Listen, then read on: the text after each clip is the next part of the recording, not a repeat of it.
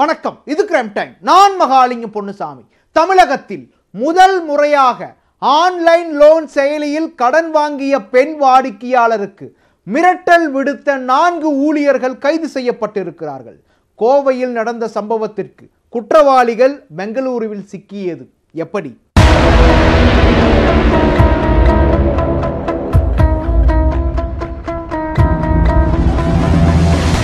Online கடன் செயலி மூலம் கடன் பெற்ற பெண் வாடிக்கையாளரை அவதூறாக பேசிய இந்த இரண்டு பேர் உள்ளிட்ட நான்கு பேர் கைது செய்யப்பட்டுள்ளனர். தமிழகத்தில் முதல் முறையாக நடந்த சம்பவம் இது. புகாரின் முழு விவரம் என்ன? தமிழகத்தில் கடந்த மூன்றாண்டுகளுக்கு மேலாக ஆன்லைனில் கடன் வழங்கும் செயலிகளின் புழக்கம் அதிகரித்துள்ளது. ஆபத்திற்கு உதவுமே என்ற நோக்கில் ஆன்லைன் செயலிகளில் கடன் வாங்கும் வாடிக்கையாளர்கள் அவற்றிடம் சிக்கி பெருமளவு தொகையை இழந்து வருகின்றனர். வாடிக்கையாளர்கள் குறிப்பிட்ட தேதிக்குள் கடனை திருப்பிச் செலுத்தாவிட்டால் அந்த செயலியின் ஊழியர்கள் வாடிக்கையாளர்களை அவதூறாகவும் ஆபாசமாகவும் பேசி திட்டி தற்கொலை செய்து கொள்ளும் அளவுக்கு தூண்டிவிடுவார்கள் இதுதான் ஆன்லைன் லோன் செயலிகளில் வாடிக்கையாளர்கள் எதிர்கொள்ளும் மிக பெரிய பிரச்சனையாக இருக்கிறது. இது குறித்து விழிப்புணர்வு ஏற்படுத்தும் விதத்தில் நமது நியூஸ் எயிட்டின் தொலைக்காட்சி அரை மணி நேர நிகழ்ச்சிகளை ஒளிபரப்பி உள்ளது. இந்நிலையில் கோவையில் முதன்முறையாக பெண் வாடிக்கையாளரை அவதூறாக பேசிய நான்கு பேரை கைது செய்துள்ளனர். கோவை செட்டிப்பாளையம் பகுதியைச் சேர்ந்தவர் சுவாதி. இவர் சாய்பாபா காலனியில் உள்ள தனியார் நிறுவனத்தில் வேலை பார்த்து வருகின்றார். இவர் ஆன்லைன் மூலம் கடன் வழங்கும் முப்பதிற்கும் மேற்பட்ட செயலிகளில் அறுபத்து நான்காயிரம் ரூபாய் வரை கடன் வாங்கியுள்ளார் இந்நிலையில் ஸ்மார்ட் லோன் ஆப் என்ற ஒரு செயலியில் கடனை திருப்பிச் செலுத்துவதில் அவருக்கு காலதாமதம் ஏற்பட்டது. அதனால் அந்த செயலியைச் சேர்ந்த ஊழியர்கள் அவரை பற்றி அவதூறாக பேசியுள்ளனர். அதோடு அவரது புகைப்படத்தை அவரது உறவினர்கள் நண்பர்களுக்கு அனுப்பி தவறான தகவல்களை பரப்பியும் உள்ளனர்.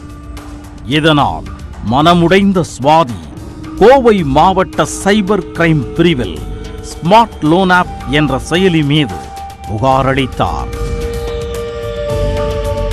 புகாரின் பேரில் வழக்கு பதிவு செய்த சைபர் கிரைம் போலீசார் அழைப்பு வந்த எண்களை ஆய்வு செய்ததில் அவை பெங்களூருவில் இருந்து வந்தது தெரிய வந்தது. பெங்களூருவில் குறிப்பிட்ட இடத்திற்கு சென்று சோதித்தபோது அங்கு வீட்டில் இருந்தபடி அந்த செயலியைச் சேர்ந்த ஊழியர்கள் பணியாற்றி வந்தது தெரிய வந்தது.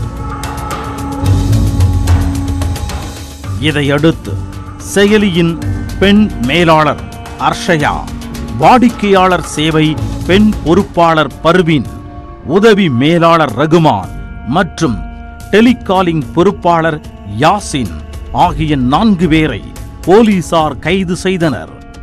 ஆன்லைன் லேர்னிங் ஆப்ஸில் பாதிக்கப்பட்ட ஒரு ஃபீமேல் விக்டிம் வந்து கோயம்புத்தூர் போலீஸில் நவம்பர் ரெண்டாயிரத்தி இருபத்தி ஒரில் கம்ப்ளைண்ட் ஃபைல் பண்ணியிருந்தாங்க. கோயம்புத்தூர் போலீஸ் அந்த கம்ப்ளைண்ட்டை இன்வெஸ்டிகேட் பண்ணி பார்க்கும்போது இந்த கம்பெனிஸ் வந்து பெங்களூர்ல இருந்து ஆப்ரேட் பண்ணுறதுக்கு ஒரு இன்ஃபர்மேஷன் கிடைச்சது.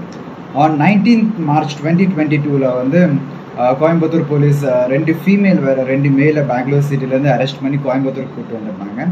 அவங்க யூஸ் பண்ண mobile phone hard drive multiple SIM cards அதுக்கப்புறம் லேப்டாப்ஸ் இதெல்லாம் சீஸ் பண்ணியிருக்கிறாங்க. பாதிக்கப்பட்ட எந்த விக்டம்ஸாக இருந்தாலுமே அவங்களோட நியரஸ்ட் போலீஸ் ஸ்டேஷனில் போய் நீங்கள் உங்களோட கம்ப்ளைண்ட்டை ஃபைல் பண்ணிக்கலாம். அதுக்கப்புறம் கவர்மெண்ட்டும் இந்த கேஸை வந்து ரொம்ப சீரியஸாக இன்வெஸ்டிகேட் பண்ணி ஆக்ஷன் எடுத்து தான் இருக்கிறாங்க. மேலும் செயலியின் உரிமையாளர் சன்னி என்பவர் குறித்தும் சைபர் கிரைம் போலீசார் விசாரணை நடத்தி வருகின்றனர். முதற்கட்ட விசாரணையில் அந்த நிறுவனம் ஓராண்டிற்கு முன்பு தொடங்கப்பட்டது தெரிய வந்தது. உரிமையாளர் சன்னி நேரில் அந்த அலுவலகத்திற்கு இதுவரை வந்ததில்லை. ஆனால் ஊழியர்கள் என்ன செய்ய வேண்டும் என்பதை தினசரி அவர்களுடன் பேசி தெரிவித்திருக்கிறார் என்பது விசாரணையில் தெரிய வந்துள்ளது. உரிமையாளர் சன்னி இந்தியாவில் உள்ளாரா? அல்லது வெளிநாட்டில் இருந்தபடி இயங்குகின்றாரா என்பது குறித்தும் பிற கடன் செயலிகள் குறித்தும் சைபர் கிரைம் போலீசார் விசாரணை நடத்தி வருகின்றனர்.